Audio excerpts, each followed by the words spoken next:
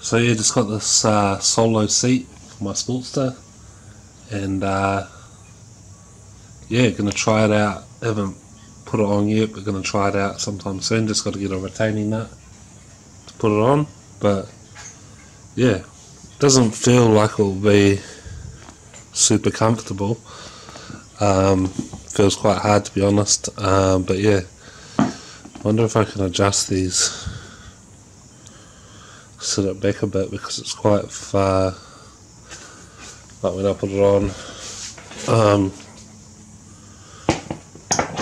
sits right up there by the tank.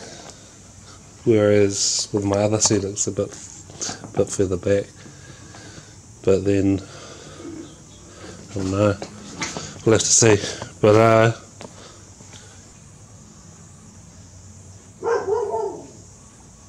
So yeah, um, it's kind of growing on me the way it looks. Thought it looked a bit weird how it kind of just sticks up from the fender, um, but it's kind of growing on me. And uh, yeah, I'll have to take it for a ride and see how it feels when I get a, I'll put a retaining nut um, in here so I can bolt it bolt it on, but should be sweet. That's pretty much it. I guess I'll see uh, when I get that done. How it how it and stuff. Should put a show you how it looks with the the stock seat too.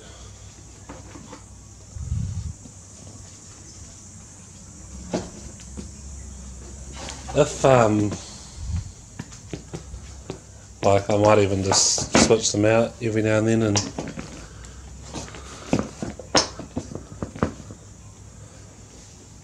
see how, how it feels but it's with the stock seat. Don't have the thing really on properly though. You can probably see what it looks like